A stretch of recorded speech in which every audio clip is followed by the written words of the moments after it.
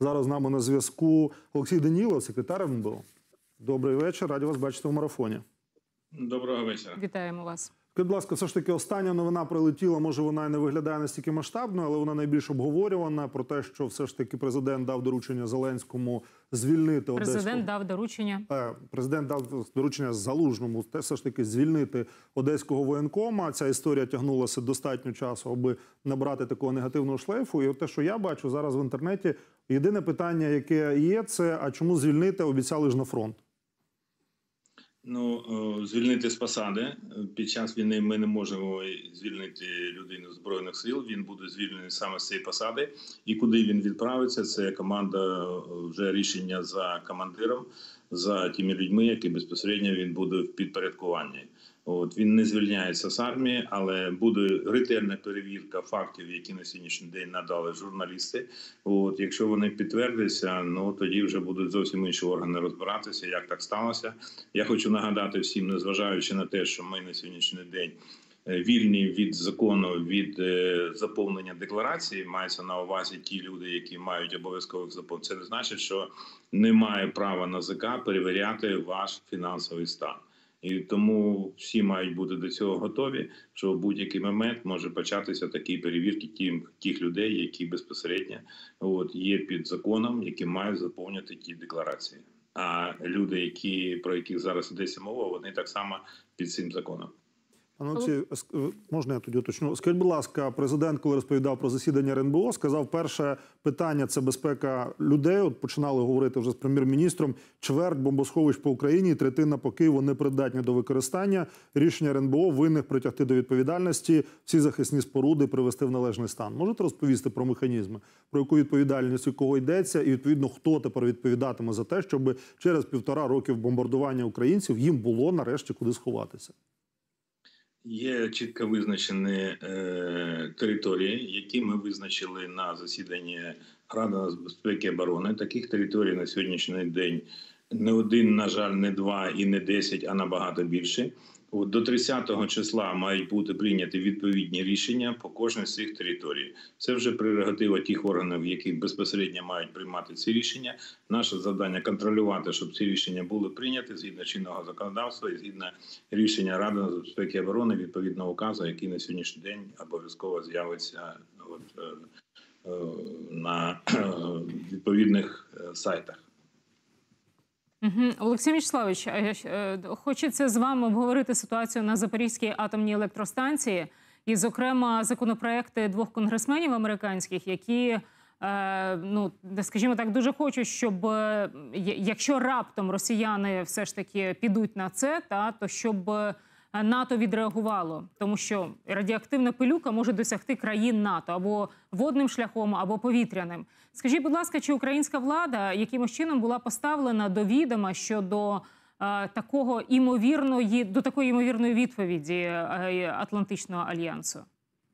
Звичайно, ми відслідковуємо всі процеси, які відбуваються в тих чи інших е, законодавчих інституціях світу. От і ми вітаємо те, що відбулося в Сполучених Штатів, от які пропонують, е, от е, у разі, якщо не дай Боже, расисти от, намагаються зробити те, що вони бажали би зробити, то відповідь має бути миттєва і відповідна. І те, що пропонують законодавці Сполучених Штатів, от саме про те на сьогоднішній день нам і говорять, що відповідь буде, і вона буде обов'язкова, тому що за все в цьому житті треба відповідати за всі свої вчинки. І коли людина приймає рішення вбивати наших дітей і вважає, що вона за це не буде покарана, ну то людина, яка не розуміє, в який спосіб влаштовано життя. Угу. Пане Олексію, скажіть, будь ласка, от заступник начальника гурміноборони генерал-майор Вадим Скібіцький сказав, що зростання виробництва ракет калібри в Росії збільшилося в 3-4 рази.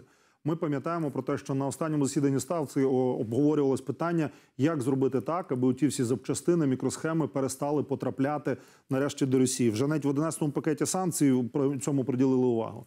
Скажіть, будь ласка, чи є нарешті механізми розуміння, по-перше, як ці всі складні комплектуючі, які Росія явно не спроможна виробляти, туди потрапляють? Зокрема, ви тоді самі говорили із Сполучених Штатів, зокрема, і як перекрити ці потоки, щоб менше все ж таки цієї смертоносної вибухівки нам на голову прилітало? Ми попередили всі країни-партнерів про те, що ми дійсно знайшли от, в виробах, які виробляються на території Ірану, на території е, Росії, компоненти, які належать компаніям, які розташовані в країнах-партнерах. Але ми вважаємо, що це були закупки ще заздалегідь. Це були закупки до 24 лютого 2022 року. І зараз будемо ретельно спостерігати, чи не буде новин новинок в лапках для нас в зброї, які на сьогоднішній день використовуються. Я хочу сказати, що у разі, коли збивають наші е, військові ці ракети, ми можемо дослідити ті уламки, які є, і чітко розуміємо, коли і де ці ракети були виготовлені. Тому ми готові. Ми це все це відслідковуємо. От і якщо не дай Боже з'явиться обхід санкцій, ми обов'язково будемо інформувати партнерів для того, щоб припинити це раз і назавжди. Будемо вважати, що те, що заявив е, представник гуру, от ми уважно будемо відслідковувати. Майте на увазі, що у них лиши, лишилося по деяких позиціях там мінімальна е, кількість тих ракет ураження, але будь-яка ракета, яка летить на нашу територію, це небезпека. От для нас і тому треба бути пильними. Треба обов'язково от, приймати відповідні дії. Те, що стосується ще раз наголошую, комплектації, якщо буде помічено, що вони продовжують постачатися з країн-партнерів, от, ну я думаю, що будуть відповідні рішення прийматися. От після е, перших е, інформувань я точно знаю, що всі компанії, які займалися цим питанням, вони це припинили. Ага, ну це хотілося уточнити, яка попередня реакція цих країн, і цих компаній, які вже ну за руку зловили по суті. Олексій Мічславовичу, е, не знаю, чи ви бачили заяву, точніше, інтерв'ю президента колишнього Сполучених Штатів Америки Барака Обами, який якраз в 2014 році був президентом, коли Росія анексувала український Крим. Але він сказав, що не було е, воєнного вторгнення на Кримський півострів, та й ситуація була інакшою, і там було дуже багато населення, яке симпатизувало Росії, і саме тому світ і Сполучені Штати Америки, мовляв, не втручалися.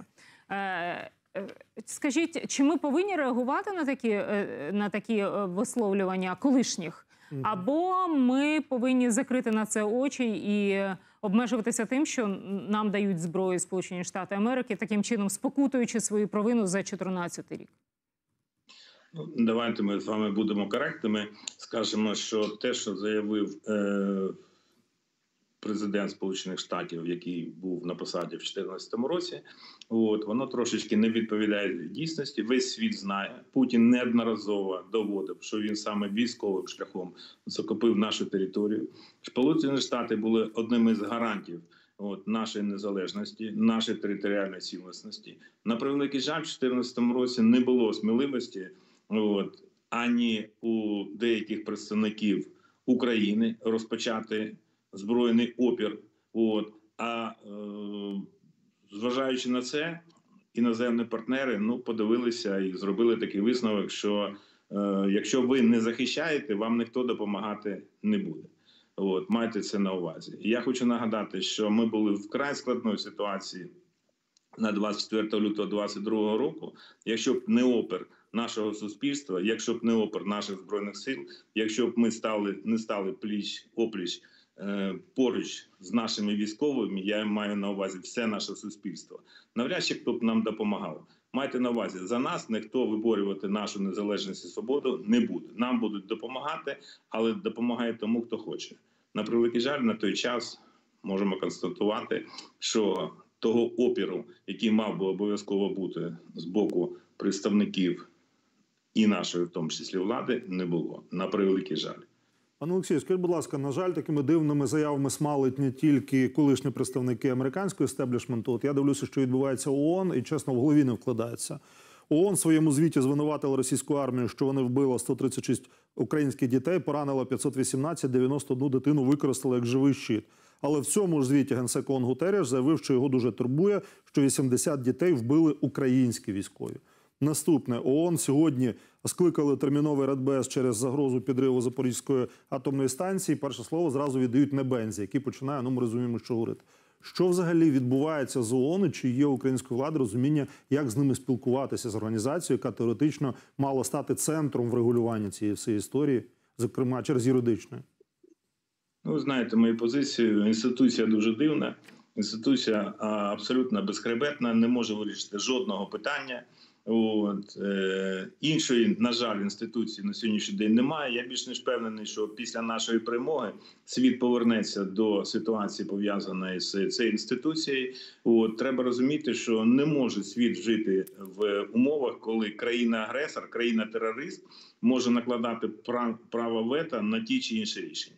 Стосовно е, цифр, які е, озвучив пан Гутереш, так я можу сказати, вони не відповідають дійсності. По перше, коли мова йде про наших дітей, які були вбиті за вказівки Путіна, це точно не та цифра, яку він назвав. На превеликий жаль, це цифра набагато більше.